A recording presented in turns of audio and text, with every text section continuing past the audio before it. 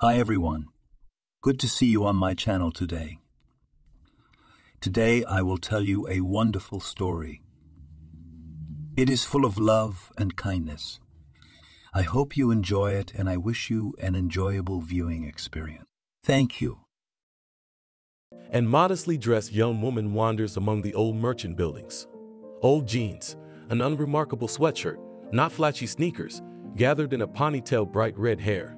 Clearly long ago has not known professional styling, from under thick stockings on the surrounding world. Green eyes with golden dots on the pupils occasionally peek out. Stunningly beautiful, but somehow joyless. She is irresistibly good looking like some ancient Greek bacchante, created to drink wine and make merry a jeweler would say. Like an emerald, skillfully framed by the fiery luster of gold, but hiding its charms for a while. But she doesn't want to drink wine and praise Dionysus. She wants the peace of silence, the freedom.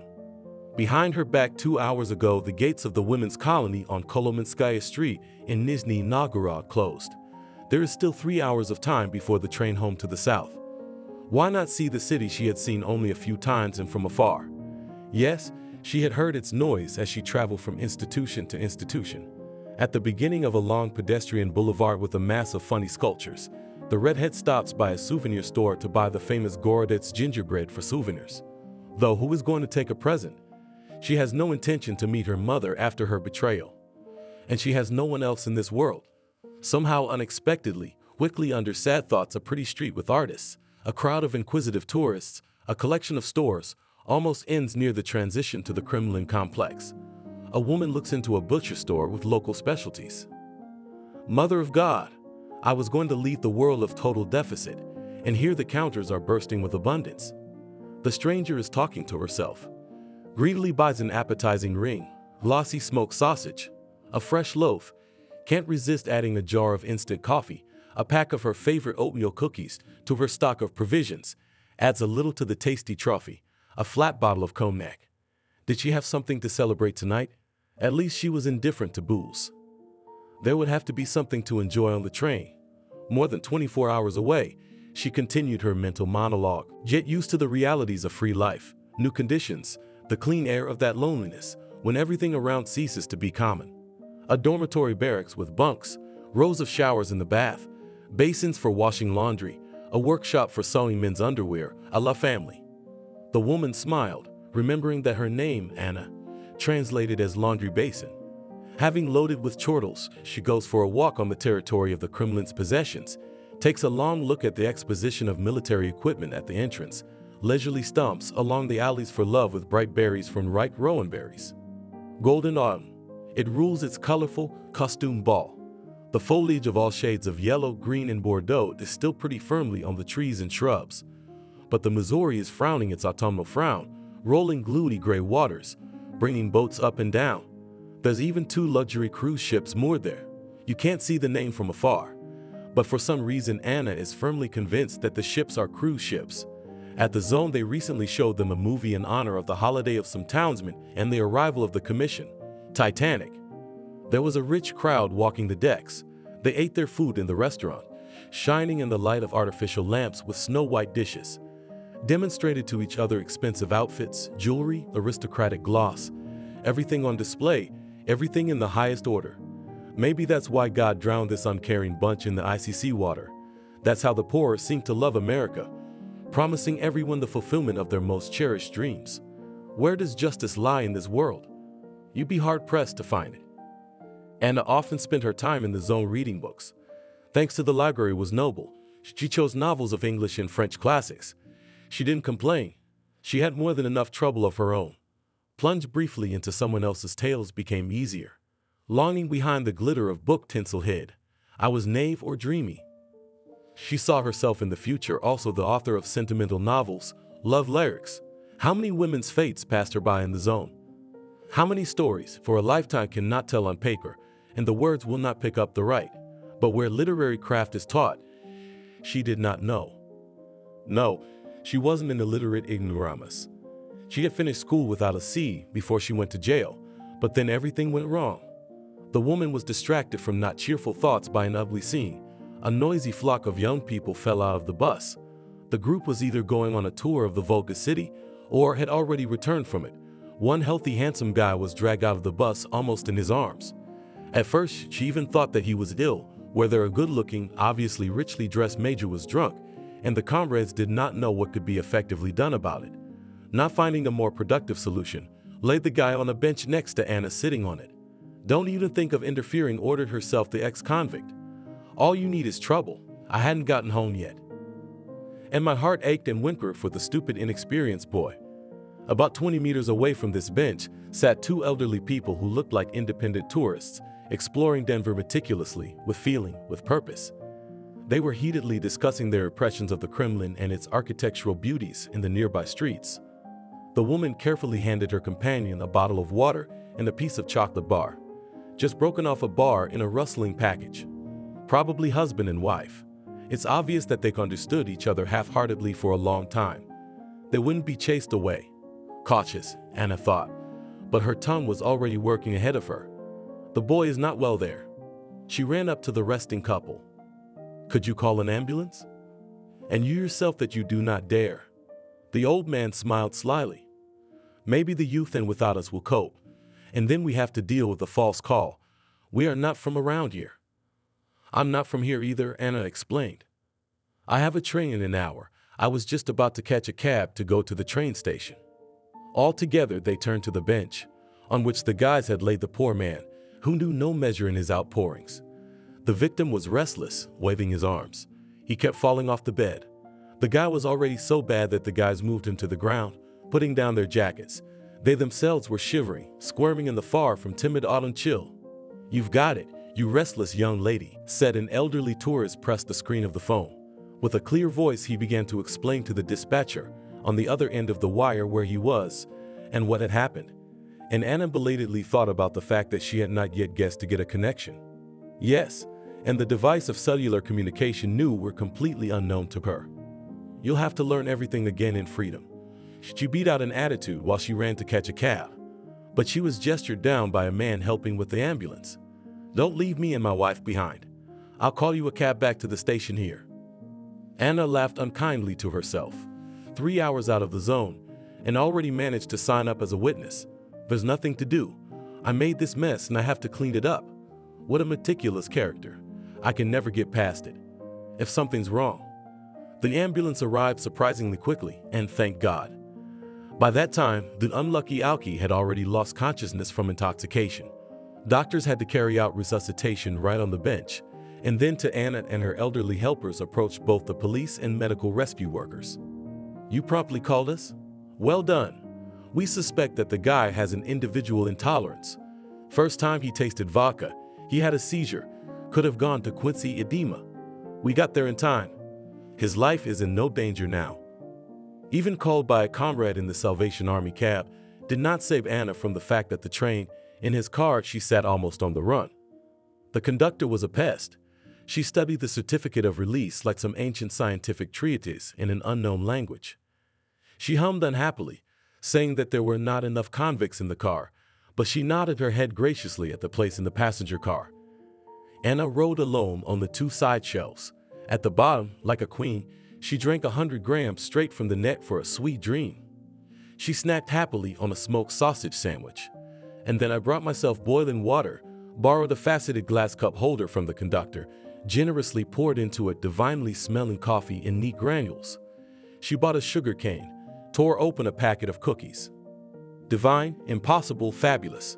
Thought Anna fell under the clatter of the wagon wheels, even after a large portion of coffee, into a blissful sleep. Her fate had been steep up to this day. What would the coming day hold in store for her? That sweet word freedom Thought Anna woke up in the morning in a train car. That seems to be the name of an old detective movie made in the 70s of the Soviet era, either by the Baltics or by Chicagoans with the Baltics. Some escaped prisoners, some chases and persecutions. It's strange, I remember the movie vaguely, but the winning phrase from it popped up at once. It's all that long-awaited freedom so influences me. The period of agonizing for me the decisions of the administration is Alkanayotsia. They'll release me on parole, detain me remind me of all my sins. A young woman rolled such a pleasant word freedom in her mouth. She enjoyed it, this imaginary triumph, expressed by leaving the territory of the colony. A holiday, a new experience, a revelation. Who's gonna be a panka behind barbed wire? It's funny. It's a good thing I'm going home to New York, not lurking, having every right to do so. My eight years in the penitentiary is no joke, a horrible dream, hell, and hard labor. She watched this picture much later, and she was born when the USSR, which seemed to be a strong monolith, collapsed like a house of cards. Little Anna was born in 1995, when the notorious Union had already been gone for more than four years. The parents lost their jobs, survived on casual earnings, quarreled among themselves almost to the point of a fight, and then sweetly made peace. Here at the conclusion of such another peace, Sheehan appeared in the womb in the project, not in time. Oh, how not in time. After realizing that knocked up, her mother was angry at the world, shouted at her husband, a Moran who did not like to protect himself, blamed herself for lack of restraint in dangerous days. What was the use? Pregnancy was rarely easy and carefree. Only the belly after the fifth month began to round up. Otherwise, no toxicosis, no health problems. My father was offered a job on a rotational basis in the northern latitudes. Easygoing Igor packed a backpack. He was the only one they saw. His wife, always irritated, blushy, fat, had been pissing him off for a long time. And now he had such an excuse. He settled down in the north like a native. He enjoyed the abundance of fluffy white snow, invigorating frost, wooden log cabins right in the middle of the harsh taiga with a rudimentary set of amenities. He had a strange feeling of a caveman who had been kept in captivity until now and then released into the open.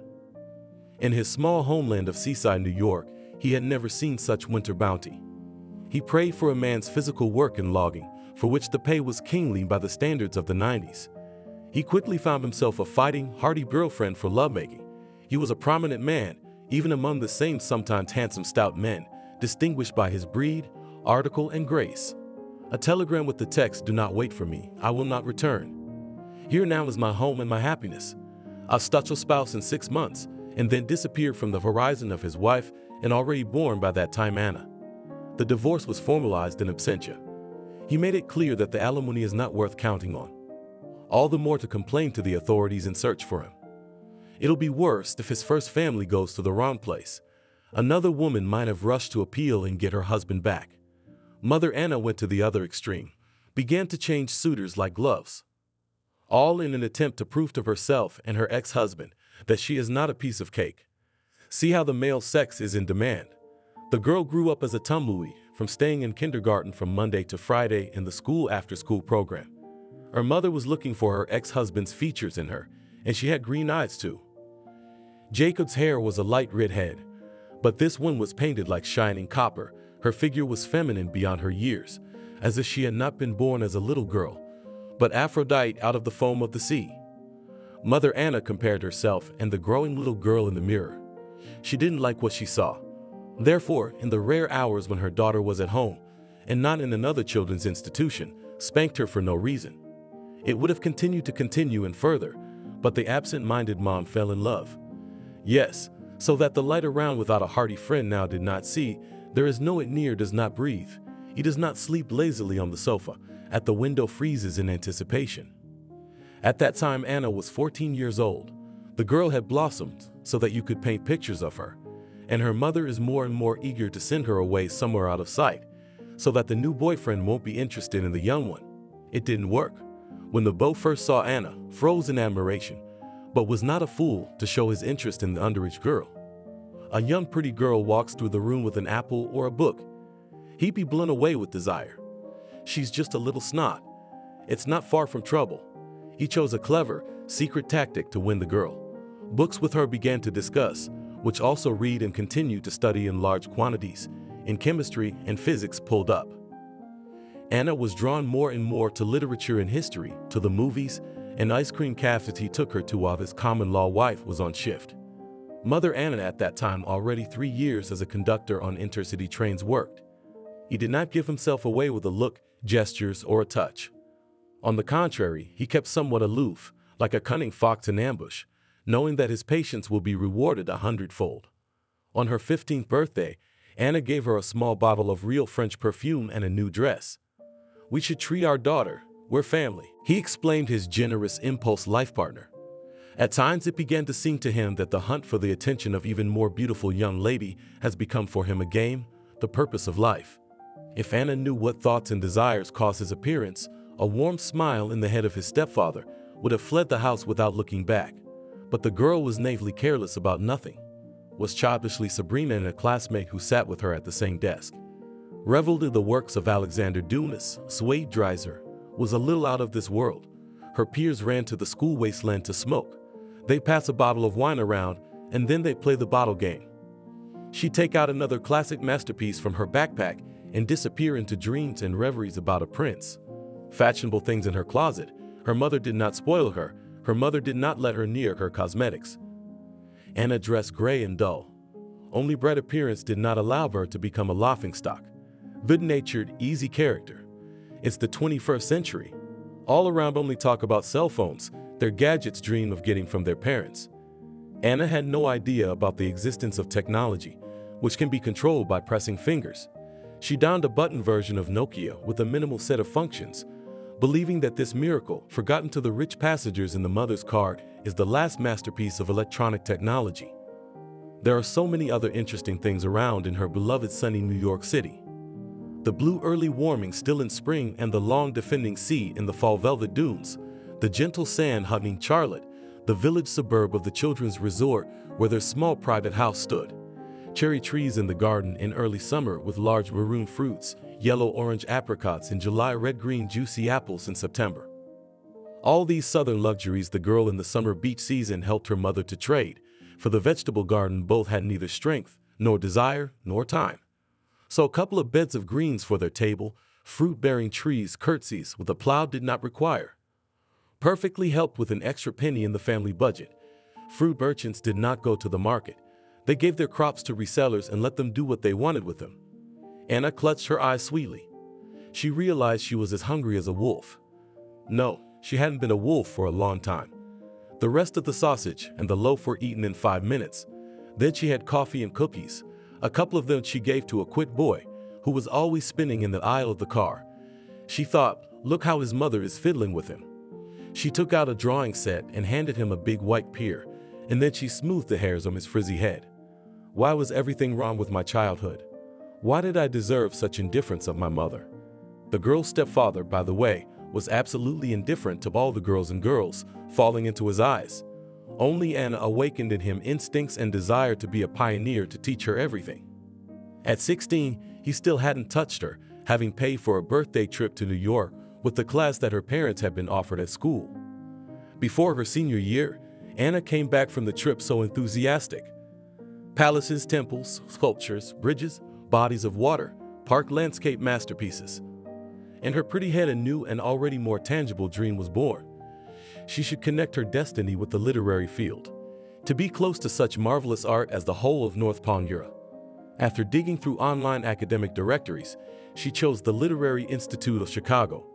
In Vegas, alas, there was no specialized university in my chosen profession in the study in the 11th grade plunged headlong. Her stepfather gave her every encouragement in all endeavors. Even convinced her mother to send Anna to the capital to study. My aunt lives there. A lonely woman, at first shelter, there will be seen. Commercial department will not pull, but the budget let her dare if she gets the right number of points. The girl's mother didn't object. She was concerned about the presence in the house suddenly very mature daughter. It was already obvious that the fruit of their love affair with the cheating Jacob was fire. Okay, slender figure, long, slender legs, a thick wave of waist-length auburn red hair. If you let them loose, the blush all over her cheeks, the emerald green of her lustrous and lively eyes, a lady of perfection. There's no other way to call such a work of Mother Nature. Behind the boys with silly giggles does not run. Next to almost indifferently sits with textbooks from morning to night, missing all the youth parties in the village. Lelouch how many young people with a claim to cavaliers.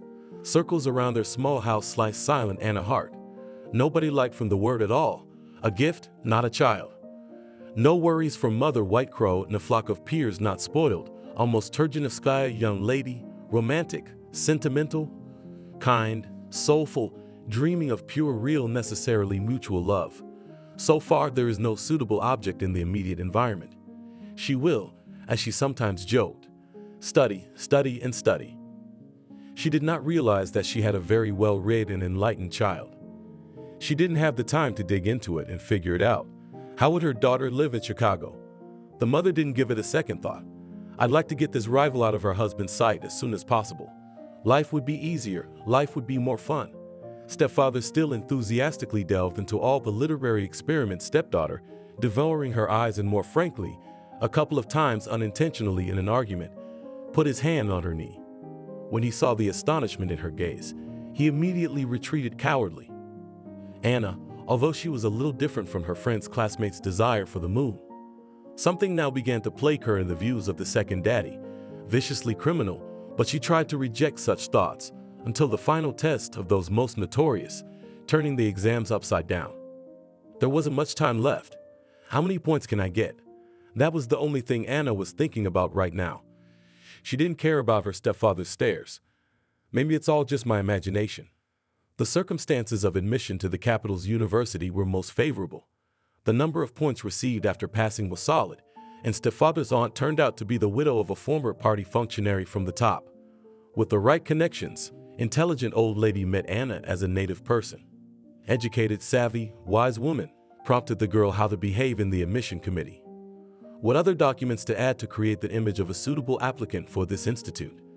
In parallel with the enrollment, Anna avidly familiarized herself with Chicago. A trip to the Museum Reserve Arkhangelskoye, walks on the old Arbat, two trips with her aunt in the famous theaters of the capital. For more, alas, there was not enough time. I saw my name on the list of the lucky students accepted to the first course. She chose the specialty of literary worker, translator of fiction. She really wanted to learn several foreign languages as well. She didn't go home. She flew on the wings of victory. New York met her with the summer heat of summer vacationers idly walking around the village, smells of ripe watermelons and melons, a quick bite to eat. Mother was on a trip, and stepfather at work rushed to the sea. Long walked on the soft sand shallow water. Then she threw herself into the aquamarine water with puppyish delight. She wanted to shout to the sky and the seagulls flying above her. I got in, yay. I'm going to Chicago soon to study. I'm starting a new life of success and happiness. I ran home in tears, my feet in the sand wouldn't even dry. So wanted to share the news with loved ones soon. With a joyful squeal, I rushed under the shower, washing off the traces of the sea presence and invasive omnipresent sand. I was so busy with my sensations that I didn't hear that the bathroom door opened silently and my stepfather came in. Hearing his words and realizing his intentions, Anna began to resist. Let me go. Are you crazy? What's the matter with you? Get out of here right now. The man didn't listen to her. After a few seconds, Anna quieted down. Her stepfather took her reaction as a sign of agreement. The girl, meanwhile, feverishly searched for a way out of this ugly situation. Also, mom is on a voyage. What will happen now? Anna all twitched with disgust. The stepfather she trusted so much had just betrayed her in the nastiest way imaginable. The girl's eyes searched the room around her, and then she saw the shaving machine her stepfather used lying on the edge of the sink. A haze in her eyes, a state of effect, hopelessness. Anna grabbed the razor and started stabbing him randomly with it, the cuts on her stepfather's face. A wild panther, a lynx, a predatory cougar, awoke in her. Taking advantage of her stepfather's confusion, jumped out of the old cast iron bathtub. Running into the room, the man, distraught with pain and frustration, rushed after her. The girl thrashed around the living room until she saw a massive crystal vase. She hadn't meant for him to die. It had all come out by accident. Throwing the glass stampede at her pursuer, she didn't calculate the force of the blow. There was so much hate in her right now, like some corny crime movie, flashing through her mind in a hot delirium. Her stepfather swung his arms in a ridiculous way, slipping in the puddle left by the wet Anna. For a couple more seconds, as if in slow motion ran forward, and then in his path appeared a vase thrown by the girl. The blow landed on her forehead and temple. Anna, sobbing, jumped up to the father lying on the floor, again grabbed the fallen vase, and delivered several more blows to the man's head. Later, the investigator said that she had not committed an act of self-defense. She didn't have the strength for a long time, not to defend herself, not to prove anything. Then, after everything that had happened, Anna sat on the floor next to the body and howled in her voice. Then she went to the city phone, dialed the number of the police and said deeply, Come here, stepfather is dead. At the trial, her mother testified against her. She was always hovering in front of my husband. He couldn't have made a move on her by himself. She just provoked him with her defiant behavior. There's only one man in this world who loved me properly. And that one, my dear little daughter, killed him. I don't want to know you anymore. You. It didn't take long to solve Anna's case. Her victim's head was a mess, not a scratch on her own. No help from the neighbor's stories about her being a well behaved, well behaved girl. Unflattering character references from school. The young criminal was given 10 years in a general security colony. She did not appeal to the higher courts. While the trial was going on, the documents were awaiting finalization. She turned 18. Now she couldn't even be a juvenile. The place of incarceration was Denver Women's Correctional Facility 2. After eight years of exemplary work and behavior of the prisoner, Anna was allowed to go free on parole. Now Anna went to her hometown, not knowing what awaits there. Her mother during her time in prison never once came with her for a visit, did not transfer a single parcel to the zone. Only after her arrest, she brought her things to the detention center and disappeared. For all those dark, hard years, it was getting dusk outside the train window. Anna again desperately wanted to eat. Here and a long stay in Miami came up. On the platform in a clean grocery kiosk, the girl bought two appetizing chebureks and two tender, still warm khachapuri with cheese. Coffee would do as a drink. She now had to save her earnings. Rent an apartment, settle down at the resort, get her passport again, try to find a job. On the sandy shore of New York, in the heart of the beach areas of Charla Village, sat a young man. He thought about the fact that soon the famous dunes would be completely lost from the barbaric raids of hoteliers, would disappear from the face of the earth. This was his way of distracting himself from his misgivings. He did not admit to himself that his heart was uneasy. For hours now, since last night, his twin brother hadn't returned his calls. Since childhood, he and Harvey had been evenly matched. Impressive height, well over 180 centimeters. The appearance of a tough warrior with a well-developed torso and musculature. Brown eyes with a twinkle, thick, luxuriant hair that any young lady would envy. Why did God give us different views on the world around us as a mockery? Once again, Max asked himself. He himself is the soul of the company, the leader, the leader, the gray cardinal of the fate of peers. Waving a finger, any beauty will go with him into the palace, and in a hut under the bright southern stars. We'll be honored to accompany him at parties, parties as a queen with an invisible crown of the chosen one will sit in his black SUV and proudly gawk at the sides. Harvey is his brother, a half brother, and from the same egg hatched as their mother likes to tease their mother, a bookworm, a fan of the computer of all these programs of technical coding inconceivable on the female sex zero attention. Once fell in love in high school and a neighbor in the house, followed her like an idiot, tied with a rope to the leg of the diva. And then her parents in Chicago moved Prolasnitsa disappeared having cut off forever all shabby ties with the provincial Black Sea resort.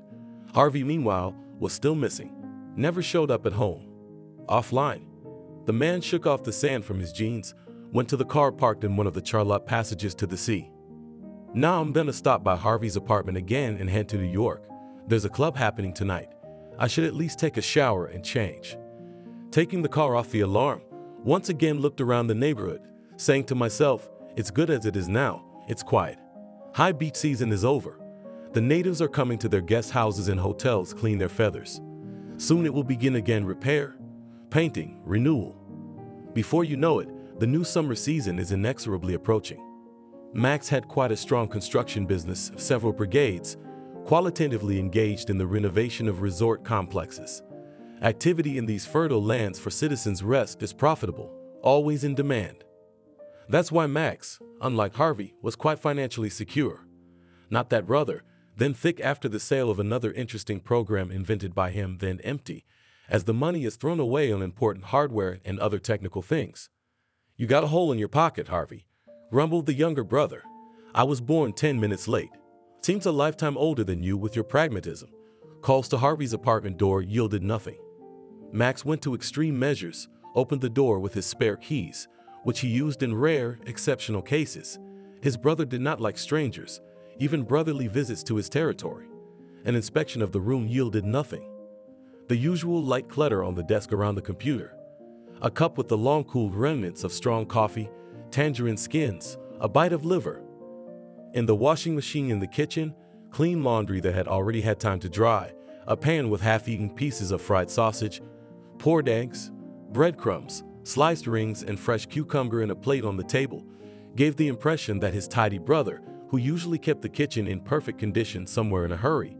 The question remained, where exactly? Max and Harvey had recently hit their 30s. Decision-making age, joked the chuckling mother. You brothers, rabbits already settled down, get married children to have children it's time, and you all one on the cheerful girls is not amiss. The other to the monitor will stick to Nia Lu, will not wait for us and my father grandchildren. We could have two grandchildren at once. My grandfather and I would walk along seaside alleys with four strollers at once. In our family, every generation, we have twins. It's a good thing.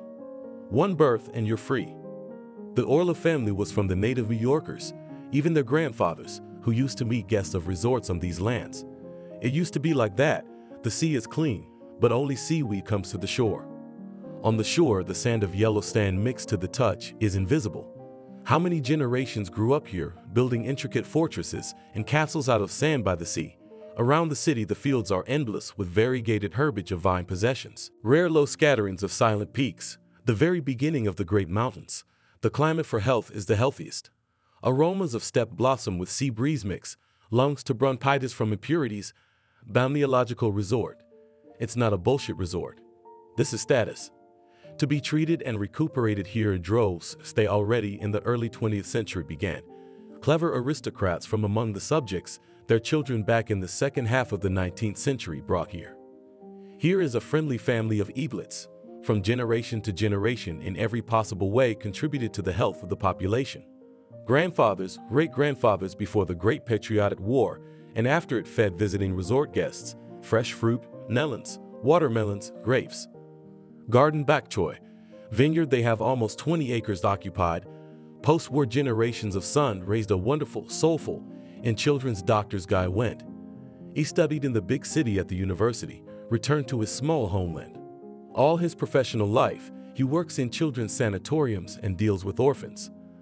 The profile in their hospital was such, destitute and unaccompanied by their parents and fate abandoned to medical procedures to take, an experienced pediatrician is already 65 years old, so to a well-deserved vacation will not be chased away. Every morning again hurries to work, although that his first preventorium has long been closed, miraculously preserved in the institution after already reconstructed at the Children's Resort of Health Centers faithfully works. His wife Ariana, mother Harvey, and Max, among the hustling nurses looked out, cheerful and carefree. In spite of all the troubles, she was pretty and very kind. She stayed that way. At first, she couldn't get pregnant for a long time. Not only did they get married when they were both over 30, but their brothers were in no hurry to be born. But Ariana, at 35, immediately as two from the chest identical from the face were drawn. They were the rare naughty ones, little Max the younger, Harvey the older. Were, they looked so much alike that except for Ariana and her husband, the whole neighborhood confused them with each other. In order that the kindergarten teacher did not faint from these hooligans, make a copy, Ariana was forced to dress them differently. So the boys adapted here too. They began to swap things, the size of one and the same, bringing more confusion in the heart of the educator. People say that there is a special, almost mystical connection between the two twins. At Harvey and Max, this property was tenfold increased. One finger hurts, the other cries from pain and fear. The first one's milk tooth fell out, clock in for an hour, and the second one will have a hole in his mouth to brag about, and fought for the truth, and cried and fell asleep under the howling songs of the mother, and loved kindergarten teftelki with tomato gravy they equally. But the hobbies from childhood were different. It's amazing the metamorphosis.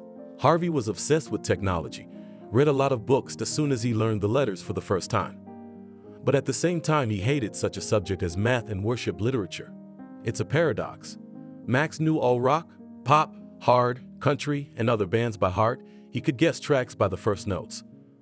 He danced like Maris Liepa, only without ballet steps. From the age of 14, he raced secretly in his father's car, thanks to his tall height.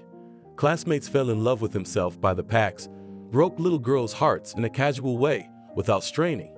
Harvey was not interested in any other technology except for the electronic one in the computer. Stared at the fair sex and saw nothing. His heart was silent. His soul wasn't panting. I pranked once, but the posse left. I didn't conduct such experiments anymore. Sometimes he only relieved natural male tension in the company of another girl without complexes from the numerous entourage of his brother.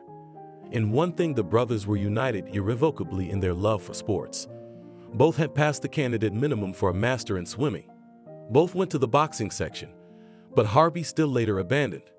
At school, the twins mocked the teachers as they wanted, if not scheduled control work. Frontal surveys were pain coming. They came to class in different disguises. Both had short haircuts, brown eyes, but Harvey came to school in a strict classic suit with a turtleneck or shirt. The outfit was complemented by elegant men's shoes, a la a real gentleman, a hobo Max shabby in jeans, sweatshirts, wearing hoodies a couple sizes larger, bright acidic and sneakers.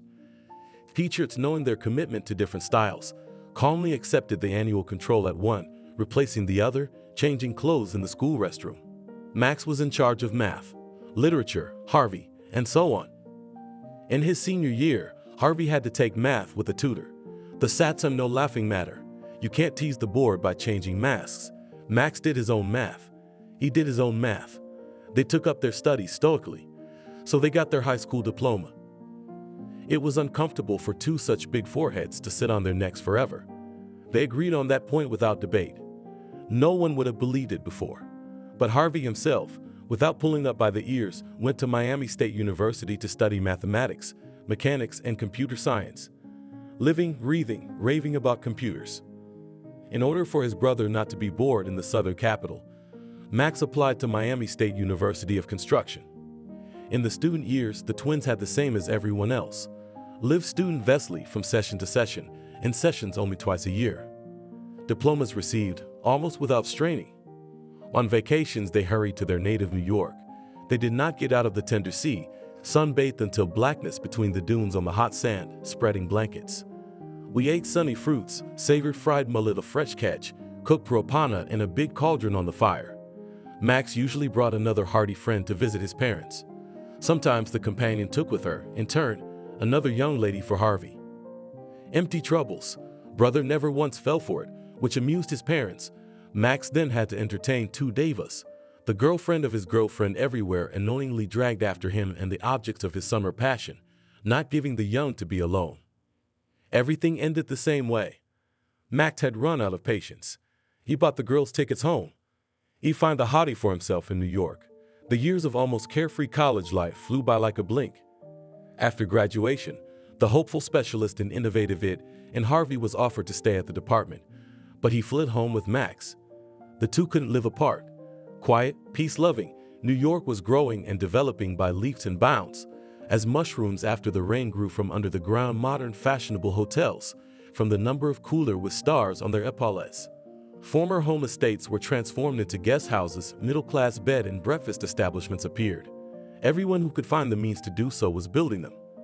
Max, like a fish in water, plunged into the maelstrom. A year later, he bought himself first an apartment and then a dark Jeep. Not lazy in Harvey days and nights, sat at the screen of a large monitor and corresponded with the same webmasters about their archival things. Inventing, developing, selling, implementing. Started the whole process all over again. I earned a one-room apartment by myself. I knew how to drive a car, but he rarely used it. He passed the theoretical exams for his license with flying colors. Max took the driving test for him. Just in case, his brother was always in the clouds, he'd get lost near a sign and make a wrong turn, no matter what. As a result, Max took the car. If it was for something, he never bought his own. Ungrateful bastard. Max kept saying like an incantation in his brother's apartment, I'll kill you if you show up. The junk in the door, unheard, the key rattling in the lock. In the room, only the walker ticks. The sun by noon had already taken its place at the very zenith. Not a word from Harry. At the New York train station, the train arrived exactly on schedule. Anna stepped out onto the small platform, greedily breathed in the sweet grassy air, looked around. On the small platform at the station, there were rows of cars with checkers, local cab drivers. Their service is clean and tidy. to take the non-local taxi drivers to New York by the third road through Villegas on the blessed kilometers in Copex, the holy high season. Don't rip off your own people and don't offend them, and give them a hearty welcome home. Where are you going, my dear? An eager young man rushed to her. I'll deliver you in the best way, redhead. And immediately faltered when he saw the look of Anna's green eyes. After a forced stay in the guest at the Cum Girl looked differently. She was shivering and shivered to the bone from her cold. I see you're from our neighborhood. The cab driver corrected himself. If money is a problem under the saber, I'll take you for cheap. We're all in the same resort world here. We must help the land. Anna gave the man the address of her house, where they live with her mother and stepfather. She decided to see what was going on there first. She was shocked by what she saw. A brand new hotel stood in the place of their home. There was no sign of the Negros property either. Our charlotte is growing, building on building and building on building, boasted the cab driver. My wife and I moved to the village of Piatahaki to New York, only 10 kilometers away. We successfully sold our land here at the resort. Now we have real houses there, with a large plot of land for a garden. You know, the locals don't often go to the sea. When you want to take a dip, I have a car, and I'll help you knock down an octogenarian. And where can you rent an apartment in the city? asked Anna. I'll take you there. Now we'll find you a shelter. On the unspoken real estate market, where they soon found themselves with a cab driver, the girl, surprisingly without delays, found the vacant apartment in the neighborhood, Visa Keyberg. She gave the intermediary grandmother an advance payment for three months in advance, took the keys, and thanked the man for his help. Let me take you to the point. The places there are great. The sea is like in the palm of your hand from the windows. New buildings, well maintained around with playgrounds, even open air swimming pools, sometimes in the courtyards. Near a small wasteland in a picturesque neighborhood, Anna and the cab driver wanted to park. He even offered to write down his cell phone number. You'll need me. I'm always around. And then it dawned on her that she didn't have a cell phone yet. It's not a good idea to be out of touch in the modern world. A hospitable countryman helped her, and with this misfortune in half an hour, she had a brand new phone in her hands. It remained only to master the unknown for her technique, yes, to enter the numbers from a piece of paper, brought Anna from the colony. Convict Anna did not make friends with anyone in the colony. Comrades in the dormitory, less not of this world, she was considered for a morbid love of book novels. But the fascination of the family still played an important role for her in establishing normal contacts with her neighbor. That day, a new girl joined their squad. Five was brought under the 124th article, which penalizes inappropriate medical care, resulting in death. The young woman worked as a surgeon after medical school. She had a bold, somewhat arrogant character, which in her profession was more of a hindrance than a favorable factor. She was on duty in the emergency room of surgery, where emergency patients from all over the city are brought by ambulance and examined a girl with typical signs of acute appendicitis. The patient was brought straight from the airport. I hurried to send her to the operating table to avoid peritonitis.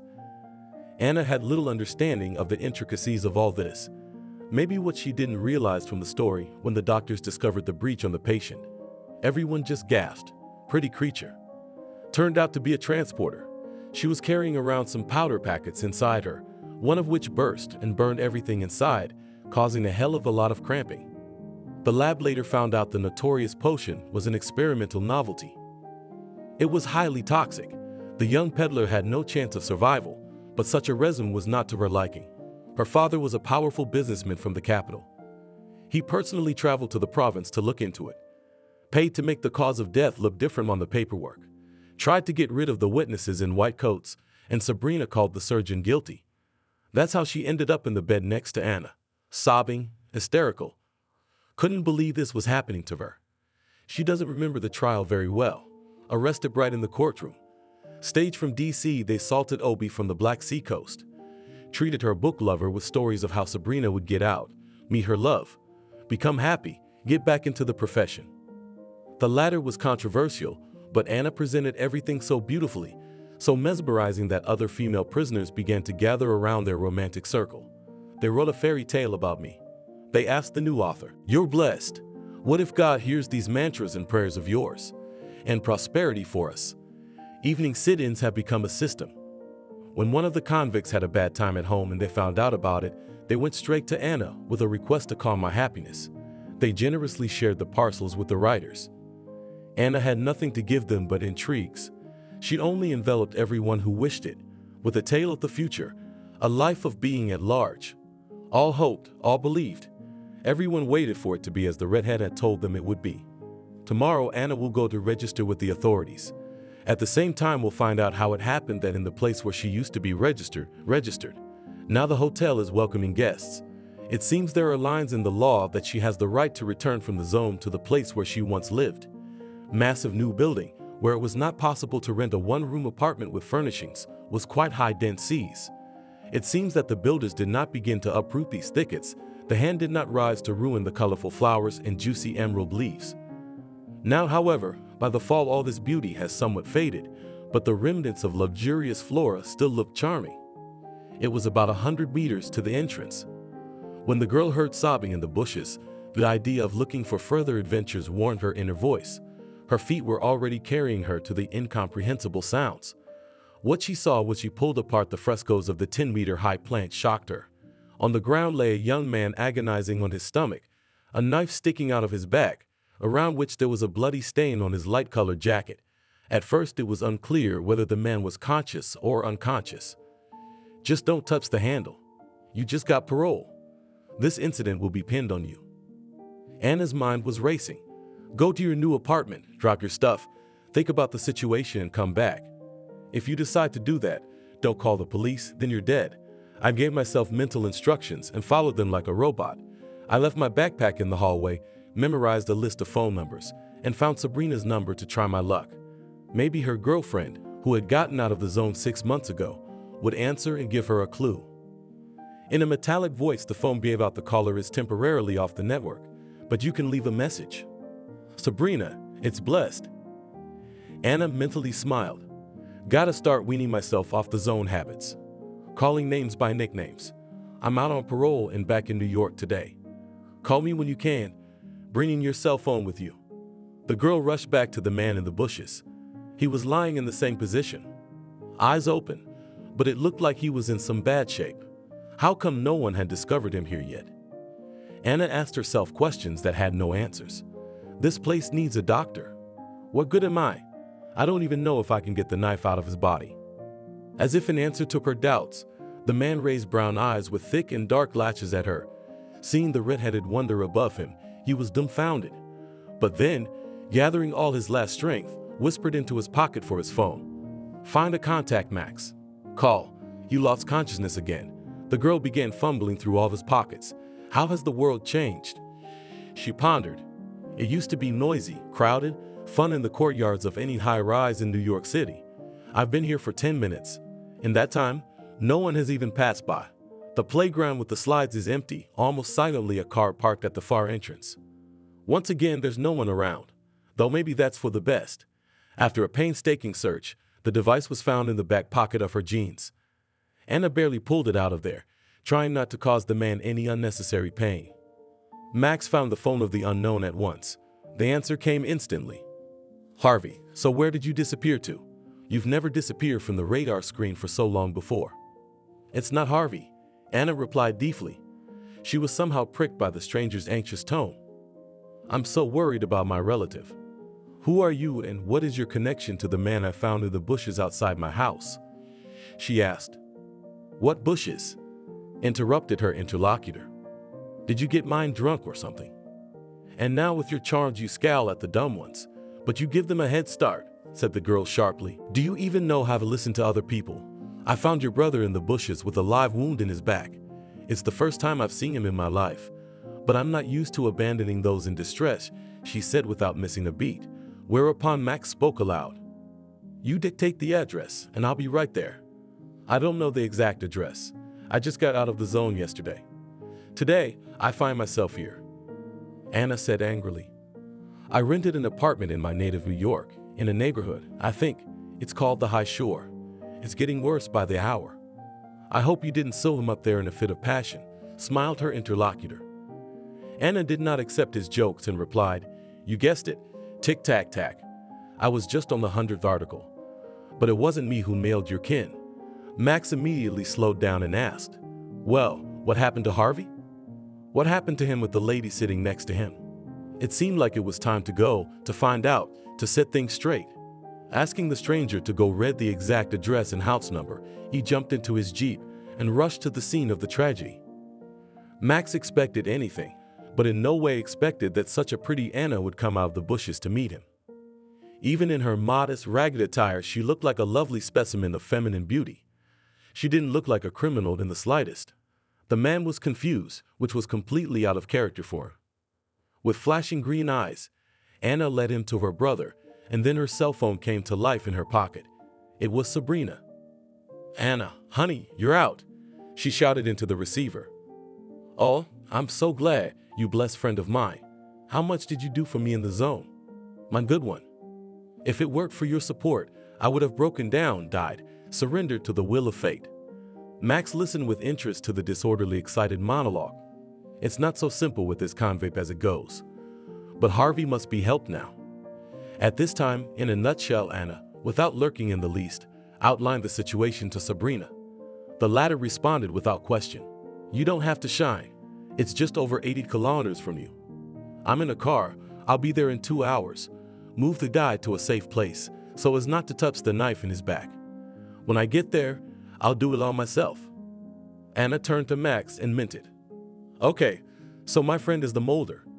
A doctor by profession, she's a surgeon, according to you, but she's been suspended from practicing medicine. I don't think she's lost her skills. And you go ahead, Ka. Pick up your brother carefully and carry him to my apartment. I've got the first floor. We can handle it. The girls stepped toward the exit of the bushes to see if their path was clear of witnesses. Check the cameras. Max whispered in her back. Residential neighborhoods like this are packed with them nowadays. I don't know under what circumstances Harvey got into this trouble. Harvey's transportation was done perfectly. He wasn't even conscious. At Anna's apartment, they put him on the couch, still on his stomach as well, tentatively covered with the surface beneath him, clay taken off the kitchen table. I haven't spent more than 10 minutes here. Haven't gotten the hang of it myself yet, the girl explained her unfamiliarity with the area. I'm going to go plug in the refrigerator, see if there's a kettle and some utensils in the kitchen. Might need some boiling water. And you blow to the drugstore, get some bandages. Broad spectrum antibiotics, iodine, saline, hydrogen peroxide, painkillers. That's for a discount. I don't know what else might be needed. After a moment's thought, she added in a hostess way. Also go to the supermarket, you'll need a food supply and drinking water. Give me your phone number, I'll put it on the list. I don't want to go through your brother's phone anymore. I'm not comfortable with that. I'm not a caregiver for you or your brother. Max eagerly rushed to run errands. Anna, powerless, sank into the chair and stealthily began to stare at the man lying on the couch. Both brothers were handsome. One could sense at once that they were both endowed with charm, even though one of them was now lying on her rented apartment like a motionless puppeteer of an involuntarily throbbing body. Alima had carried them to the colonies. When cars with carts were sent to unload bakeries, they had their own on the territory but they never became real bakers. The flour wouldn't listen.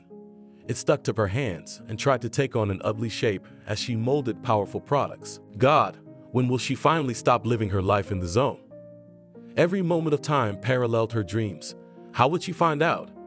A couple of outwardly masculine strangers of athletic build caught her eye. The eyes of the second one were like two brown lightning bolts. Anna in the morning and did not imagine that a man can attract her and even more to awaken the female essence inside to make something hitherto unknown to feel. Who to tell about the fact that she had never had physical intimacy with a member of the opposite sex? No one would believe it. She didn't have time. It didn't work out. After the incident with her stepfather for a long time with a shudder, she was disgusted just by the thought of this side of the relationship between the two opposite sexes. After a couple of years of imprisonment began to throw her signs of attention one of the convoyers. Mostly there were female guards, and here they sent a young soldier to help her on duty, and she was 20 at that time. Yes, and he was still young and obviously inexperienced. One day when he was on duty, there was an engagement party in the colony. He went to the shower room to see her. The story with the stepfather didn't repeat itself. The kid had just gotten to the door when she couldn't keep up with the others. He hesitated, and the sight of him made her angry. There was something unprecedented in her eyes fearful, dangerous, wild. The guard, without saying a word, retreated, and then he turned his male attention to a young girl with no special complexes. The girl said that they even got along for a long time. At night, quiet mounts and outside, and on his watch, the girl from the cell disappeared until morning. Then, when the time was up, he meet her from the zone. And how did it end? No one was interested afterwards. Here it would be with their lovers on the outside, unattended left men each correctly disposed of. There's a phone on the table.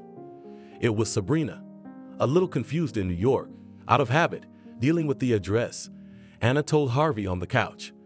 He was still unconscious, intermittent moaning and panting.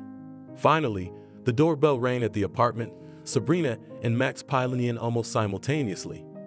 After sending him to the kitchen to sort through food and medicine, both women returned to the injured man. You be the backup, ordered the momentarily assembled doctor. Help me turn him a little. That's good now, and turn on all the lights in the room. Watching the quick, dexterous movements of the former surgeon was a real pleasure. For former doctors who had taken the Hippocratic Oath, Sabrina pulled out the knife, reporting that the penetration was not deep at all. No vital organs were hit, but there's a lot of blood loss, which is not good. After all the manipulations, she defended the patient, who immediately started muttering something. Well done. You bought everything right, she praised Anna and Max. Now I'll inject your victim with antibiotics and painkillers. He should come to his senses soon. To the doctor widen the precious ones, you my precious ones, the wound could have been more serious. First, I'm gonna get to the bottom of this case. My brother and crime are on different paths. They're very far apart. I'm the one who gets hit on occasionally for business. He's kind of a quiet drunk. He doesn't even go out with the ladies. He's always at his computer. Our parents are old medical professionals, so they decided not to bother them. Thank you very much, Sabrina. I won't rust. Now my brother's awake. I'll take him home with me. Don't even think about it. Sabrina was immediately outraged. It'll take two or three days to transport him. We don't know how the wound will behave. So what am I supposed to do now? Ask you for a permanent position? Smiled, as always imperturbable Max. I don't even know your name yet. Anna, without extra curtsies, answered the girl. And you and your brother Max and Harvey? I'm the one with the drawing. I found the document. Sabrina, I trust her. Like I trust myself. We've had too much going on today. Half an hour later, the whole group, except Harvey, was drinking coffee because of Anna's stocking up in the kitchen. Max hadn't thought to buy anything to make hot drinks. The sausage and cheese that Max had brought were in use. The sandwiches with them all seemed divinely delicious. Oh, I have some gingerbread, Anna remembered, and there were about 200 grams of cognac left in the bottle. The guys added cognac to their coffee and discussed the day's adventures with gingerbread, which turned out to be a real pastry masterpiece. At night, everyone decided to stay in the apartment. So while the stores were open, Max went to buy bed linen, towels, shampoos, toothpastes, and soap. He couldn't resist. He went to a specialty store and bought elite coffee, turku, sugar, chocolates, cookies. We should treat the girls to a little something sweet, considering where they both spent more than one year. All the fates of women, how different they can be. Anna briefly told him who and why she got nailed and for some reason, he believed her unconditionally. Sabrina had split too. How she was deprived of her favorite profession. Now she's a checkout girl at the supermarket. At least she got a job there. When Max came back, he was dozing on the chair by the bedside. Anna was in the kitchen trying to boil broth from chicken thighs. Max was going to go to the kitchen too, so as not to make noise in the room. But then Harvey opened his eyes, looked around the surprisingly unfamiliar room, squinted his hand at the bandage on his chest. Where am I? Don't worry, I'm right here, Max reassured him. You're a fool. What kind of story did you get into? That's the most screws you've ever thrown at me. To clean up the aftermath of you and Katie running away from a nightclub three days ago. Why'd you pick up Akhmatova? I took her back to my place. There were no other chicks around. That night a day ago, Harvey was at the monitor as usual. The day before, he'd spent a long time with his brother. Max had just finalized another promising deal and had come to Harvey's house to celebrate the success of his business endeavor. He brought with him a whole basket of delicacies, a couple of cases of excellent beer. Harvey's bachelor pad was just out of clear supplies. I couldn't get a delivery. And then Mother Teresa showed up, as always with a kind grumbling and gifts, sorting out Munchie's my electronic grief. When will you get yourself a girlfriend to cook borscht and baked pies? As if you need yours for borscht. Odnikivel Harvey, already willing without any heat treatment at smoked wieners and grunt of merman's pleasure females use for some malice. Here it is not necessary to observe the laws of brotherly seniority. Half an hour later, the outstanding potatoes were already frying on the frying pan. On the kitchen table, there was a dish with salome from fish and seafood, and Max was masterfully cutting salad from fresh cucumbers and tomatoes. Both hitchhiked beers and shared news. At Harvey's, the case was coming to an end. New computer programs still little tried out. This time he was drawn to medicine. The finished product was to be of interest to pharmaceutical companies for identifying drugs. The man had already been working on this project for several months, following a tip from a virtual colleague from Germany. The one took on another part of the turnover of drugs and therapeutic agents, promising Harvey that together they would sell their brainchild to interested people in the West for good money. Max did not see such bright prospects from the overhaul of one old hotel in New York. The resort complex was too visibly outdated, but it had that classic thoroughness, which had recently become more and more fashionable. The customer wanted to get something in the style of romantic Baroque, with all these domes colonnade, an abundance of details, bright colors of the facade. Eneas at first grabbed his head, and then suddenly realized that he and his guys themselves were busy to deal with such a task. So in the professional sphere, both brothers were not bored. In the afternoon, Max and his new partner, the customer, signed a contract for a tidy sum. Harvey also seemed to see the light at the end of the tunnel. They laughed. Hey bro, maybe we can go on vacation later. The sea and its delights are just around the corner. But I'd like to see some oceans overseas. Maldives is a bit expensive, but Thailand or Vietnam with their tropical paradise is the best. Max, who was already tipsy, was humming. Aha! We'll book a separate bungalow so that right on the shore with aquamarine and warm water yellow, velvet sand sea creatures to dive. They would have continued dreaming. But then there was a call on Harvey's cell phone from a German comrade. It turned out that he also spent the whole day at the negotiations, where he announced not only his program and his partner's developments. An excited Kurt shouted into the receiver, Please hurry up. He spoke even louder. I've been writing to you and you're not answering. Harvey rushed to whoever was in his email account, and there were three messages from Kurt with attachments.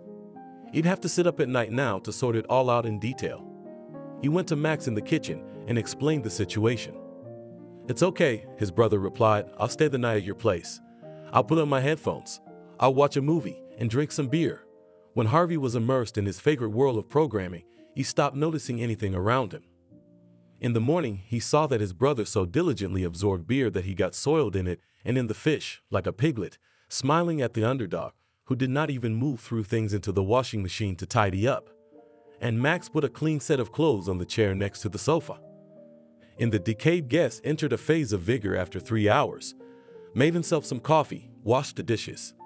After their drinking, he carefully covered Harvey lying on the air mattress with a warm plate and was gone. Work would not wait. The chain of coincidences began to gain momentum and acquire new links. In the evening of the next day, Harvey found that to the remnants of tasty gifts brought yesterday by Max, catastrophically lacking bread, fish without cereals and potatoes he did not recognize. It was not desirable to search long for outer clothes for himself, so he pulled from the rope in the bathroom light windbreaker Max on the street in autumn was not so warm and cozy as in the Black Sea summer. In the nearest store from among the products of 24 hours to his annoyance bakery products were not observed. All dismantled people hurrying home under the cozy barrel of the TV. I'll go to the neighboring microdistrict Visokieberg. There they have recently opened a supermarket. I'll buy coffee and sweets at the same time, the man decided and quickened his step. He had to walk for at least 20 minutes. In the vicinity of the new buildings, not all the infrastructure has not yet been set up at the entrance to the store, Notice the company of the local major shaggy golden boy. So nicknamed for his luxurious hair with an African accent, blonde hair. Sticking unruly in all directions like springs. Next to him, grinning at his loyal friends, two big foreheads were whispering hotly in the ear of their kingpin. He took a step forward. Max, have you completely lost your way? Don't you know that Katie is my girlfriend, that we have a serious relationship, said the shaggy man, but his smile looked evil and his voice sounded mocking. Harvey had heard about Katie leaving the hangout with Max a couple days before this evening. The man had told him about it yesterday. as well as the fact that he didn't drag the girl against her will under the drink, she herself hung on him all the time and threw inviting glances. Max never liked that kind of girl. He wasn't going to drag her into bed. But already on the street, Katie suddenly came out from the corner of the club and whispered pitifully, Take me away, Max, from here. I hate that brazen face of his buddies. I don't know why the shaggy one thought he owned me. I slept with him once, and now he won't let me go to any party without him claiming me. Max had always had an easygoing nature, and now he was relieved that Katie didn't have any plans for him tonight. He took the girl by the waist and led her to his car. He'd been out of work at the club and hadn't missed a drink. The girl lived far away, a satellite town in New York, but that didn't bother him. They chatted for a while on the way, and then Kathy dozed off. She only apologized for hitting on Max for appearances, so that the shaggy one at the house quickly slipped out of the car, a grateful peck on Max's cheek. If Shaggy asks what's going on with you and me, please tell him we're together. You're a well-known person in our neighborhood. Maybe that leftist asshole and his gang will finally leave me alone. Remembering what Max had told him yesterday about Katie's request, Harvey decided to play along with his brother. Forget about Katie. She's with me now, he replied shaggy-haired and disappeared through the door of the store. Are you gonna regret this? Joel. He was followed by the angry hiss of the curly-haired beauty. Having bought all the necessary things, Max decided to shorten the road and walk to his house by the yards, past the already built houses and work in full swing. Even in the dark time of construction, there were not that many lanterns around, but he was never afraid. He had already forgotten about the incident at the store. He was thinking in his head how he could further improve the project he and Kurt were working on. He didn't hear the footsteps behind him right away.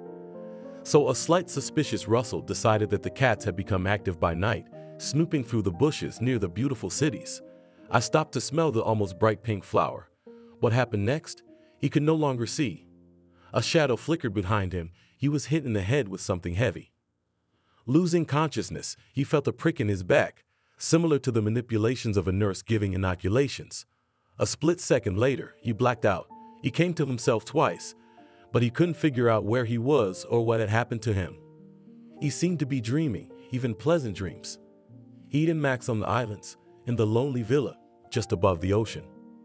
He'd seen something like this in a commercial about traveling to the other side of the world, where coconuts and palm trees grow and Bounty chocolate bars are made. The vision was a bright red blur, flashed above him, as it seemed to him, right on the wooden stretcher leading to his and Max's cabin over the smooth sea. Then he vaguely felt himself being gently dragged somewhere, in an awkward downward position, belly down. More sharp pain, the gray eyes of some woman in a white robe. More pain. Another failure. He woke up to the fact that there was not a single calm cell left in his body. It hurt everywhere at once. For a second, he heard his brother's voice in the distance, or was he imagining it again? Harvey opened his eyelids with great difficulty. Where? The men looked exactly alike. One was quick, smiling, always hanging around her. Max the second was now in her room in Sabrina's capable hands. Harvey the woman gave him a dressing down, getting ready to leave for home. She had to leave for work in Houston early in the morning. Something incomprehensible, hitherto unknown, and therefore frightening, was going on in the girl's mind. It can't be, because it can never be with me. She said to herself like a prayer, but she was irresistibly attracted physically to two male representatives at once. She had not known before that such an ordinary, natural feminine desire for carnal love at such a wrong, inappropriate moment. And her hands are trembling. And Max kept his eyes on her as if some currents from her were reaching his gut. Nonsense, absurd, more like shock, a fog, an obsession. It doesn't have to be like this. It is. Shove your misunderstandings to the back of your mind. Haven't you had enough adventures with men in your life? These feelings are stronger than her. It's not inappropriate for her to bring up a Jack London novel. The Little Mistress of the Big House. His heroine, I think her name was Paula, couldn't choose between two men and said goodbye to life. And yes, you're losing your mind. My star again brings you back to reality, Anna. None of them are even going to notice you.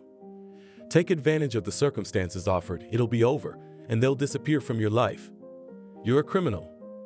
An ex-con with a stigma on your record. They're both so cute. Why would they want a treasure like you? Like a somnambulist, the girl is escorted to the door. Sabrina half-heartedly listens to the fact that their doctor informs them that he won't be in until the day after tomorrow. When the shift changes, they have a supermarket open 24 hours a day. There is a long shift ahead.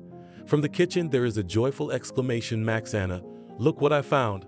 A cup with a spout from such dishes on the waters drink mineral water. Now I'll pour broth into it. I'll feed it to Lipka. In the meantime, fill the rest of the chicken broth with something. There's potatoes. There's vermicelli. I'm hungry, so I'm exhausted. The girl obediently goes to the kitchen, cooks soup thoughts of the two men who suddenly appeared in her life, briefly let her out.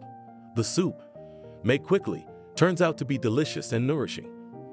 And Max sincerely thanks the skillfully. Fed Harvey, Fed Max falls into a graceful slumber again. I have to work in the morning again tomorrow. What are your plans? Anna, you're gonna look after your brother while I'm gone. As soon as he wakes up, we'll eat right away. I realize you don't have time for us. I've got my own problems. I have to register with the police with my parole. Discipline first. Then I'll go to the store for supplies and wait for you here. They go to bed in a peculiar way. Max gives the girl more trump seats on the chair, and he settles on the floor at her feet. In the darkness, Anna sees the man's eyes glitter in the sparse fields of their cars, their headlights occasionally passing through the yard below the windows. Both are silent, thinking of their own. If someone had told me that a red haired witch with green eyes would persistently settle in my head, I would have made that person laugh. Max thinks in silence. He's always had a disdain for pink snot twirling. In his opinion, there are some overly romantic types around love affairs. And now here we are, while we were having dinner. Suddenly he imagined Anna making him soup. Not here, but in his apartment. There's a bunch of kids running around screaming, Mommy, Daddy. We're going to the amusement park on Saturday, and he, Max, the head of the family, steadily answers to ride on the swings, and Gorky will go to the one who will do his homework today the best. That's what a happy, carefree family looks like. Only troubles from these women frown.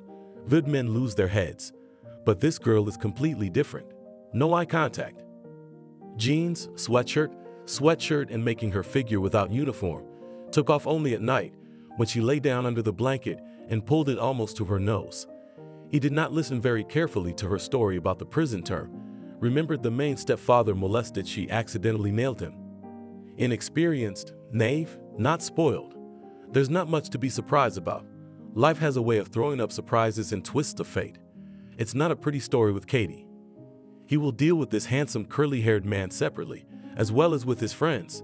They'll be shocked they stabbed Harvey in a hurry to intimidate him not him without the police. He's pulling major wings. He's got a man in mind. The one Naxa crew made a nice house out of. He's got a beef with Shaggy, for hurting him too.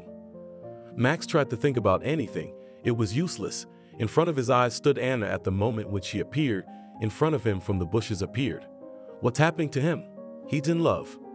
Nonsense. He can't wait for all of them to make his heart on the altar of feelings. He's got one. He's got feelings for Harvey and his parents. A woman has no place in it, but his nature is masculine and refused to resist. The miracle that had happened didn't care who or Sabrina, what was wrong with her or how. It was his time to become half of something whole.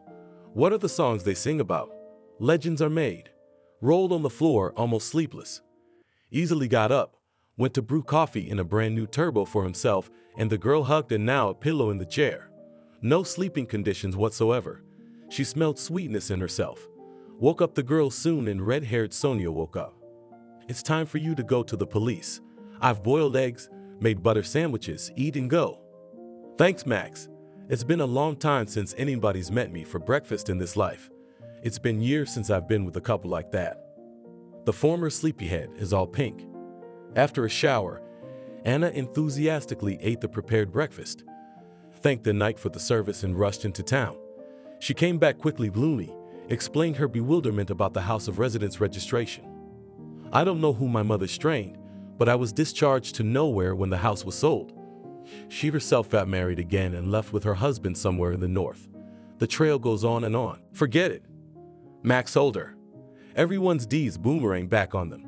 And you, on the contrary, wish your parents good health and happiness. Let her go with God. Anna took the market purchases to the kitchen, disappeared behind the bathroom door previously made from a hook in the closet. A warm terrycloth robe festered her, asked Max to put the kettle on or make coffee. For a long time, she scrubbed her face under the line in hot water. the dirt of family betrayal was destroying, then appeared in the kitchen. The man embraced Anna in a gesture of support and comfort. She smelled of herbs, retained the remnants of fragrance, shampoo, or shower gel, but in his arms did not immediately deceive like other young ladies. Everything pulled like a string. Get your hands off me or I won't vouch for myself. Max immediately sent with difficulty equalizing his breathing, and Sabrina was working magic on him. His eyes darkened with desire. His head was barely thinking straight. He tried again, tearing forward again to catch up with the girl hiding in his kitchen. She was standing in the middle of the room with a knife in her hands. Are you crazy? I'm not going to do anything against your will. I like you so much I'm losing control. You've been courting from the wrong place. Sit down. Don't bring up my dark demon bomb. I just checked in today. I'm about to start a new life. What have I done to you that you want to put me away? You want to put me away for another relapse? The man abruptly turned 180 degrees, grabbed a jacket from the rack in the hallway, slammed the door, ran off to work. Anna burst into tears in the kitchen so as not to wake Harvey. Again, the disappointment. Again, she was wrong about the man she had begun to sympathize with. No, no, he'd let her go right away. But again, it was nasty. Again, it was nasty. Something forever burned in her heart and soul about Max. It's ridiculous for a grown woman to play with a man's interest. Perhaps, but she was again covered with an icy shell of mistrust, ready to hide in the shell of such a strong fruit as a coconut, so that they would not find it, not to forge spoils into the light of God. She looks like there's nothing she can do about it. She'll be looking for a job in an all-female group. She'll go to the hotel to clean and scrub for the season. He will go around the city and ask people if any guest house owners will respond. From acquaintances now only, close old connections are not to rake up not used in business. Max has been going on and on all day. Fool. What kind of a fool would he be to scare her away? The only female creature I've ever felt real warm feelings for. Unexpected, quick, but he was sure it would be the only one in his destiny. At work, he answered inappropriately to the subordinates. At the base, he bought the wrong building materials. He had to make a return, explain himself to the sellers, argue, prove. I was afraid to go to Anna's apartment in the evening, to look her in the eyes. Intuitively felt that he lost her once and for all, disgusted by such a small thing for him. How many skirts around him he passed through himself in passing, without thinking, changing like gloves. And now he found himself in the position of a beggar himself. Sabrina greeted him, nonchalantly escorted him to Harvey, who for the first time in the last two days was sitting on the couch instead of lying down. The girl did not stir him a whole bowl of cottage cheese with sour cream and honey, and he wolfed it down with evident pleasure. It's on the mend. We Orlos are strong people. Max thought to himself with satisfaction. We must get out of here quickly. How does His Majesty Count Orlov, the eldest, feel? When will the order to leave his palace be given? Harvey's answer was a sudden recovery. We've already discussed the subject with Anna. Sabrina will come tomorrow to examine me. We'll see about authorization. That's how I'll move in. And you, Max, don't suffer. I'll sleep on the floor. The landlady's doing a fine job with me on her own. That's what Max was thinking. Yeah, they're already working together behind my back. They're friends with each other. And then he felt ashamed. He remembered how Harvey, without thinking, had responded to his name with the Shady Company. How he had accepted his version of events from Katie without reservation and how he had not given out a word of reproach to Max. He could easily have reminded him of his tendency to constant promiscuity with the opposite sex. In his head, out of nowhere, came the words of the song, bound together by the same chain, bound together by one purpose. I've got no one closer to me, Max told himself, and the rat of jealousy I'll drive out of my heart. Anna fiddled in the kitchen and did it with obvious pleasure-smelling pies, borscht, with a dill badge homemade cutlets, Max was drooling from such luxury. Soon we'll have dinner. Anna peeked out of the kitchen.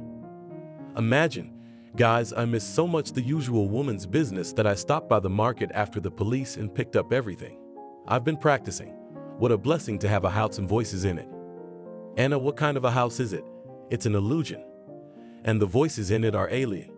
But it was so enchanting that she thought that, even if it was just for a few days, I had an ephemeral semblance of a family. Ghostly, not real, artificially created by a stalemate and still marvelous.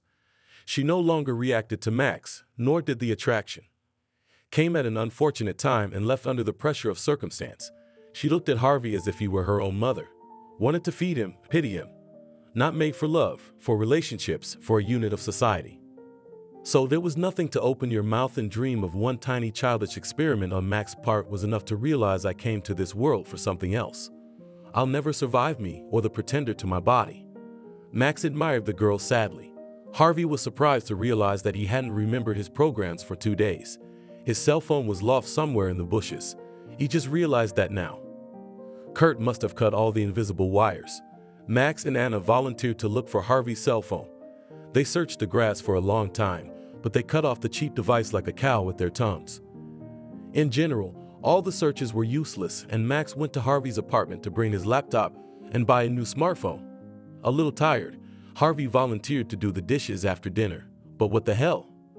He wasn't strong enough, so he was escorted back to the couch. The man lay down thinking. There was something in the air, some vibe in the apartment, but he could not identify what was really going on. Max tense, and are all like the taut strings of a fragile violin. There are feelings brewing between them. But then why does Harvey himself turn inside out at the thought? He began to go through beads of memories of the night he'd been attacked. The most vivid seemed to be the moment when he came to his senses for a moment and saw a red cloud with two green dots leaning toward his face. There seemed to be no such thing as red-headed angels, but it seemed to him now that he had met just him, the guardian of his life, not afraid to get involved in the consequences of other people's strife. And the fact that he is now lying in the apartment of this grave girl, on her sofa enjoying pies and cutlets, in her kitchen, eating tasty cheese, cottage cheese from her hands, this is a new miracle. Harvey's musings were interrupted by Max returning from his computer, but Harvey reacted sluggishly to his iron friend. Without active interest, wrote only that he was sick, he would return to the program a little later, and immediately closed the lid of the laptop. A little caught in the hallway brother quickly slipped away in the evening twilight. He and Anna were alone in the apartment, and Harvey asked her quietly, Tell me your story. All from the beginning in detail, I have heard only fragments to think and fantasize is not mine. I want to hear everything from you. Anna looked at the man, and then she burst into tears. Quite serene in her childhood, her father's flight to the north to earn money, her mother's floundering in search of a Harvey friend, and the appearance in their home stepfather, who managed to gifts and affectionate speeches to put to sleep the vigilance of a young, pretty schoolgirl. About Vegas and Chicago, about dreams of becoming an author of women's novels. About that dreadful day when she ran to share with her family the news of her college admission. About the fight with her stepfather, who had hitherto concealed his plans for the colony. At first, she wanted to narrate sparingly, but then she survived for the memory of the stories of the dormitory and those novels that she invented for them to get out of homesickness about her acquaintance with the surgeon Sabrina and her difficult fate about the convoy and how she almost made trouble again then, Harvey was a magical listener. It began to seem to Anna that her life was not the worst thing that could happen under this earthly sky. She now told with a laugh about her mission to rescue a glorious young man in Denver, about the unique taste of smoked sausage on the train and the sweetness of Ozianikov's cookies eaten with strong coffee. The man was shocked at her frankness and trust in him, at her loneliness on this planet, at her boldness pushed the girl toward him into the bushes. In response to the strange sounds, he wanted to say something very nice and the words froze on his lips. Then he just stroked her hand softly, gently, affectionately, and she did not push it away. And her own hand, clasped in his fingers, could not stand it. They sat like that for almost an hour, holding hands. They talked until almost morning.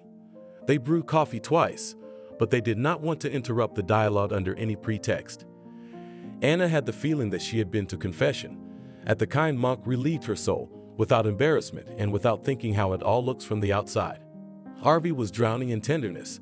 This girl struck him to the heart of a criminal with a pure heart, a fragile flower unbroken in the crucible of adversity. He had a strange feeling for her. He wanted to become for her all at once an umbrella from the sun and rains, a canopy from the rockfall wall from trouble and yet a strong burning desire to take advantage of her beauty, he did not feel, even smiled to himself. A prince or a knight for your lady, Mr. Musketeer. This princess is attracted to all sorts of things you will not notice. He did not leave the feeling that fate had confronted him with a certain test from which he must come out with honor. Like some hero of the love stories Anna was so fond of. A knight without fear and reproach, knowing himself at the feet of the charm of nice and the whole world and demanding nothing in return. The next day, as promised, Sabrina arrived. The examination of the patient pleased her immensely. That's what means a young body a couple of weeks, and you can sign up in the queue of applicants for the honorary position of astronaut. She approved Harvey's move to his own apartment without any hesitation. That same evening, Max picked him up, and they left Anna's dwelling. The girl could again enjoy her own freedom, but she was sad. In order not to finally surrender to despondency, she persistently searched for at least some workplace. God not Timothy sees a little. Vacancy found neatly in that hotel, which was built on the site of the parental house. Isn't that a sign of good luck? The manager of the hotel complex calmly accepted the news that Anna had served her time. A little only questioned who the girl wiped off the face of the earth and for what. Understandably hummed at this strong-willed elderly Armenian once served time. Her eldest son, her daughter went to the capital, and there another scumbag scowled at her and threw her out on the street with a belly higher than her nose. Frederick didn't ask her to marry. The son found her under guard, shot her once. The sharp-eyed boy hit the heart on the first try. Of course he was tried. Sure, he served 12 years in a maximum security penal colony on parole. Then he got out, for good behavior. A young mom survived. Soon married a widower with two children, lives happily. Only about her brother defender long grieved. Anna started to work with enthusiasm and responsibility. She came home late, but now she could afford the rent of the apartment, with which she had so much to do without stress. A couple of times she was caught up at home Max called her to a restaurant to have dinner or asked for a visit. She wouldn't go and wouldn't let him in the house. Though she saw that the man realized everything and would not pester again. My heart was silent for crying out loud, and Harvey remembered with warmth was grateful to him for that night of revelations. From Max learned that her brother is all type top with health, all immersed in the completion of the project, is going to Germany for the presentation of his program. Went to see Sabrina in Houston over the weekend. Used to visit her at the jam. We'd sit and reminisce with lacquer or pastries. A divine delicious dessert coffee shop had just opened in New York. The women nicknamed it Sweet Brain Detachment. Impossible to resist. Life got better. Life got more fun. Just the words of the heroine of fate from the movie Chicago doesn't believe in tears. For some reason, they kept running through my head. Don't tell anyone that when you achieve everything in life, you want to forget the wolf even more. Max had fundamentally changed his principles, his traditions, his rituals, his way of life. Harvey's offenders were punished severely. Dad was forced to send his son abroad to study. That way he gained some smarts too. The beating up of his buddies, they're being subtly criminalized. They've been on the edge of the knife all the time. They'll be serving time for a long time. They'll have time to think about everything. Baroque Chalitz, Max and his brigade were so sad for the client that the whole neighborhood went to them like to museums, a package of contracts for the future. In the puffy folders, almost all did not fit. The money was flowing rightly into nightclubs and parties. Has cut off, even to himself, the man did not want to admit that Rave Dana lived thoughts and dreams of her. She was as adamant as a rock, Moreover, he saw, as soon as he held out his hand to her with a bouquet of flowers, she, driving prickly, turned. She didn't want to show it to him. But her eyes froze ice, her body tensed. Her gait was like that of a statue. He couldn't hug her again. She realized that unrequited his feelings with her own hands had ruined everything. Eve ruined it for himself. He still remembered the velvet skin of her body, the purple plume of the scent of her hair, her confusion. The first moment in the icy anger. The second, it didn't work out, it didn't work out. Hopelessness and hopelessness. No one would ever believe that sometimes without her, love, desired, so dear. He didn't want to go on living. Silent Harvey to his goal to wake up the sleeping beauty, to remove from her shackles a fear of the physical component of the relationship between a man and a woman moved slowly, not on the spur. He realized that he loved Anna not at once. His experience in this area was not great, he didn't care how it would be for him in the future. The main thing was to bring Anna back to a full life, with or without him, but she must become the happiest like the female characters in her sentimental flair. Their joint brainchild, with Kurt went through the presentation and journey to the hilt. Both developers shone afterwards at the banquet like clean silver coins. Several contracts were signed for the implementation of the common program in reputable pharmaceutical corporations. The next step was to offer the development in the USA. There was a lot to do. He'd only seen Salty a couple times. He didn't ask his sweetheart out in passing. until the time he gave her time to come to her senses, finally after the zone for breathing fully to settle in, to get up, independently on their feet. Anna now no longer worked as a cleaner in the hotel and was preparing to become an animator, to lead in the evening's performances for the tourist public to get the crowd. Turnover, she was getting marvelous. Language is suspended, fantasy irrepressible. Even for the children's audience was able to come up with such contests and pranks. Adults swoon with delight and interest. In New York was coming into its own exuberant spring, has recovered from the winter chill, sharpened the yard, played in the lives of three people. Far from the last roll in the distance shone Aquamarine Aquamarine New Loved One Sea. The resort froze in anticipation of a new beach season. Many establishments were going to open their doors hospitably and already by May vacation rub their hands, shashliks, washed to a shine their stalls and cellars of resort goods. Harvey saw none of this. He was shuttling between New York and Munich and Chicago, explaining something to new colleagues and partners.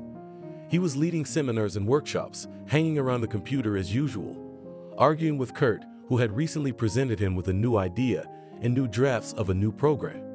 He hardly even saw Max. It seemed to him that a slight chill ran between them. And still his brother for him remained the second wing of the most native and favorite person his dare, blood, life friend. Harvey was not a naive boy and realized perfectly well that his brother also came to Anna's heart. But talk about her and never, as if a taboo imposed on both on this topic do not get involved then nail the truth. Summer broke out resort village avalanches, dumbfounded them from the delight of vacationers filled the beaches became warm sea, not yet known to the shores of the nasty female of rotting seaweed in the markets, broke stalls from the local ripe strawberries, scarlet hearts, and berries manula. Try us the sweetest ones. Anna ate and ate the juicy fruits and could not get enough of them. Yesterday, she got an unexpected call from Max saying that tomorrow night they would come to visit her with Harvey. A good excuse. She didn't know what to think anymore. Max promised a tempting surprise, Asked to prepare his wonderful borscht redhead, pies, cutlets with fried potatoes are also welcome. The redhead himself snapped back at Anna, but she smiled to herself. There was something so promising in Max's voice that she was already burning with curiosity. At exactly 20.00, the doorbell rang. The brothers piled into the apartment at the same time, dismantling their balloons in their bags. Joyfully, the girl and Max commanded, We have a house party tonight in honor of our mutual successes. On the table, the common effort set quickly. Anna was not lazy huge frying pan with cutlets ruddy potatoes, a dish with pies, babies with meat, onions and eggs, cabbage. Vegetable salad on the stove under the vapors. Flavor and borscht came first. Max quickly placed on plates, brought with him delicacies. He shoved the cake into the freezer, put a small bucket of strawberries on the shelf, opened the champagne and spoke. Guys, I've been thinking about it for a while, and I've decided to give you a gift for two. Don't be in a hurry to object. I've already looked into it. Anna can use it too. She's behaved impeccably all these months. She's earned a great reputation with the hotel management. I've already gone there to get her references. Harvey and Anna stared at him in total bewilderment until they didn't understand the thing. When we met, you dummies last October, we both answered at the same time. Well, my friends, since that day, life has taken a different course for each of us. If you have noticed it, of course, all of us have achieved notable success in the business field, managed to increase our capitals, even if they are not the same size. Max smiled. I've just bought you the island of Phu Quoc in Vietnam. I chose a funny hotel in colonial French style. It's all tropical flora. Pools, beaches, and villas, you'll fall right into the sea. Anna and Harvey were quiet for a while, and then they started talking. What's gotten into your head? What kind of fantasy, Max? If we go like this with the three of us, you know, my precious ones, I'm tied up in October with liability contracts. And you, Harvey, you're taking a break. I've already scouted it out. And Anna's first working season will be over at the hotel, so you should go.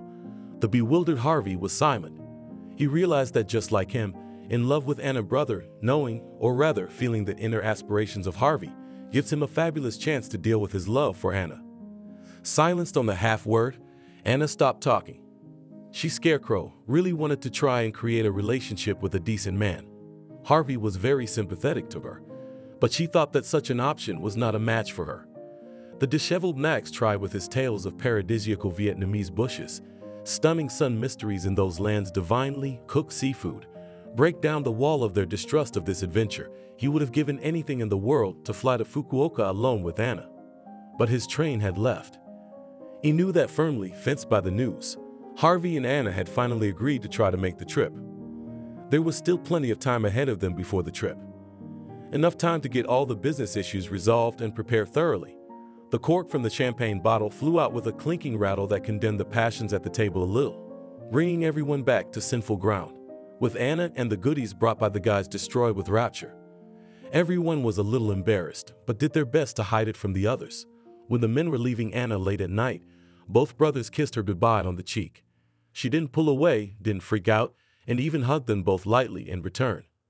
One had to get rid of one's nightmares at some point, no matter how scary they were. In the backyard of the house by that bush, Max and Harvey slowed their steps. You're the one who loves her. Max, what are you doing? How are you going to live with yourself? I don't want to live without you. You might not be able to forgive her if she chooses me. I tried to show her some affection, but I wasn't patient. She shut down for good. Don't make the same mistakes I did, buddy. As for you and I being halves of the same pole, it can't go on indefinitely. If you are careful and wise, she will now become your second wing. The two brothers walked away from Anna's house in different directions. Captivated by their love for the same woman, they managed to remain people who knew how to set the right accents in life. Anna froze at the apartment window. What does tomorrow have in store for her? Will she be able to overcome her fears and love Harvey if fate in the person of Max decided to give her such a chance? Only time will answer these questions. She sincerely hopes that ahead of her, after all the misfortunes, still very much. Different, but so magical and promising. Thank you for watching this video to the end. Subscribe to the channel. Like it, write comments if you like the story, and see you on the channel.